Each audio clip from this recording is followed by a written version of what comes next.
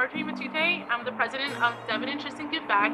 We're an organization of ordinary people giving back in extraordinary ways.